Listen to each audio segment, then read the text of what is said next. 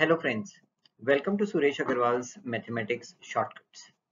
Yet another video for my junior students. The topic of fractions. This is what I took up in my previous video and I have uh, put up a video in which I reviewed all the concepts of fractions.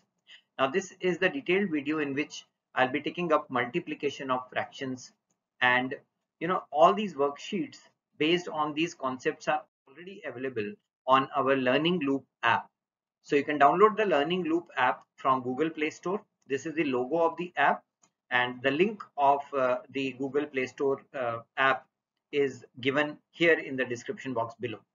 So you can buy nominal costing uh, uh ebook of short tricks, very, very uh, renowned ebook where you find like uh, 350 short tricks of 24 different topics, various test series of CBSE and the reasoning course and there are you know a lot of pdfs uh, useful for quantitative aptitude exams as well. You can watch some free videos also on the app. So download it now from the google play store. If you find any difficulty then you can send me a message on whatsapp 9896369963 the material on uh, the learning loop app are validity based and therefore they are nominal costing. But if you want unlimited validity stuff then you can send me the message on this number 9896369963. Let's see some of the questions of multiplication of fractions. So we have a fraction here 17 upon 48 and we want to multiply that by 21. Now the first thing students have to understand is when you have a perfect whole number like 21 it means that it is 21 upon 1.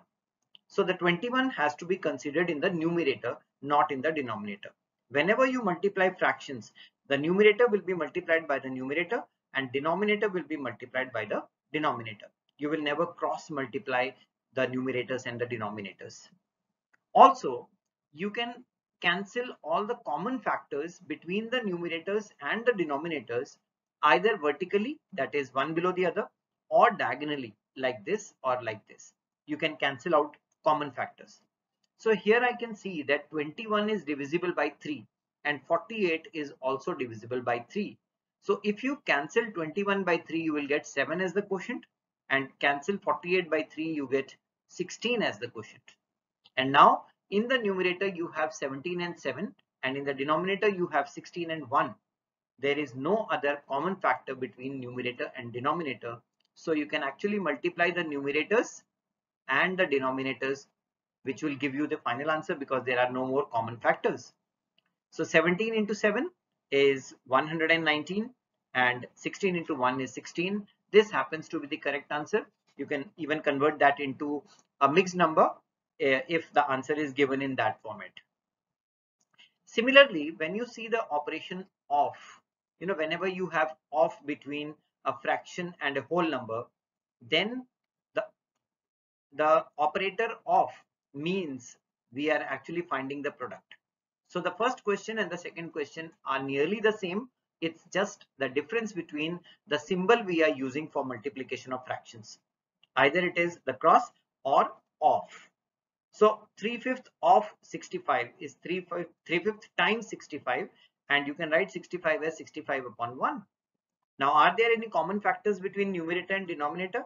Yes, there are the 5 in the denominator and the 65 in the numerator, they have a common factor or the highest common factor 5, which you can cancel. So 5 1 times is 5 and 5 13 times 6 65. So you have 3 into 13 in the numerator and 1 into 1 in the denominator.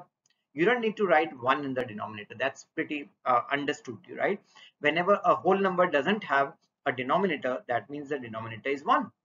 So 3 times 13 happens to be 39 and since I'm not writing 1 in the denominator my answer for the question will be 39 itself. Let's see some more questions. So here we have a whole number 10 and we want to multiply that by a mixed number to 115th. So the trick is to convert the improper uh, the improper version. I should get the improper version of the mixed number there. So 2 115th is 31 upon 15. I think you are well aware how to convert a mixed number into a improper fraction. So I converted that and now it's the same as the previous slide. You can write 10 upon 1 and then you can look for some common factors which you can cancel in the numerator and in the denominator. And when there are no more common factors, then I think it will be done. So I can see 10 and 15, they are divisible by 5. So 10 divided by 5 gives me 2 and 15 divided by 5 gives me 3. No more common factors there. So 2 times 31 upon 1 times 3 and the answer for the question will be 62 upon 3 or you can convert it into a mixed fraction that's 22 upon 3. Likewise, now let's move on to another type of question where you have a fraction 7 over 15 of of means you already know multiply and we have a mixed number 6 1 14th. So how do you do that? 7 upon 15 times. Now I need to first convert this uh, uh, mixed number into an improper fraction. So 14 6 are 84 plus 185. So we have 85 upon 14 as the improper fraction version of the mixed number. So do you find any common factors there between numerators and denominators? Yes, I find multiple common factors. So between 7 and 14, we have a common factor 7 which we can eliminate. So 7 one times and 7 two times. Likewise 15 and 85 they have a common factor 5. So 5 3 times is 15 and 5 uh, 17 times is 85. Now 1 times 17 in the numerator and 3 times 2 in the denominator gives me a 17 upon 6 as the answer or you can write it as 2 5 upon 6. That's the mixed number version of your answer. That's how you multiply a fraction and a mixed number. Now let's complicate the problem and get to a fraction 7 tenth, a mixed number 1 3 over 14. So I already told you you cannot do direct multiplication of mixed numbers. You have to convert them into improper fractions first. 1 3 upon 14 is 14 plus 3 17. So 17 upon 14 and the last one 3 2 third is 9 plus 2 11 so 11 third so now you have three different fractions which you have to multiply again you can look for common factors. If you don't look for common factors then you will get a huge number in the numerator and a huge number in the denominator for which finding common factors and cancelling them out will be a difficult task. So you have to cancel them before multiplying. Now that's one of the very important things you need to understand when you are doing multiplication of fractions. Let's look for common factors. So 7 one times and 7 two times. I told you we can cancel either vertically or diagonally right then uh, are there any more common factors? 17 and 11 i don't think they uh, go into any number because they are primes. And in the denominator i have 10 into 2 into 3 so no more common factors there.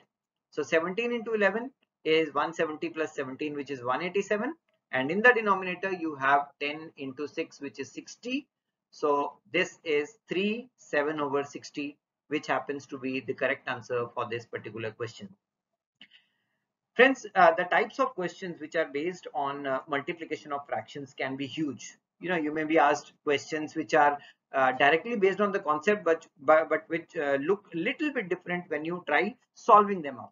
So we have a question here in which we have to fill the empty box here.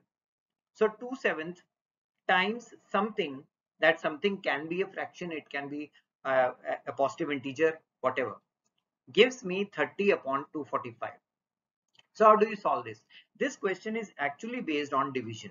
So what you have to do directly is to divide this by this that is the numerator on the right hand side 30 by the numerator on the left hand side 2 that gives me 15 so 15 will be the numerator of my answer and then the denominator by the denominator. So 245 by 7.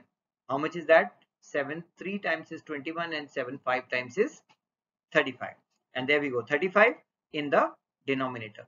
But writing 15 upon 35 is not valid because 15 upon 35 has a common factor between them right so the numerator and denominator both are divisible by 5. So you can write 5 3 times is 15 and 5 7 times is 35. thereby giving you 3 seventh as the answer for this particular question. Friends, multiplication of fractions is not at all difficult. If you follow all these videos which I've been posting on the channel, your concepts will be very strong and you will form a very good base for all the quantitative aptitude exams. So do share this video with all your friends. Don't forget to download the Learning Loop app from the Play Store and look for the worksheets, the detailed worksheets based on this particular concept also. I'll, I'll put the link in the description box below. Do subscribe the channel for more such amazing and useful videos. Don't forget to click the bell shaped icon. That's very important. Otherwise, you will be missing out on all the notifications for future uploads. Thanks for watching this video and all the best.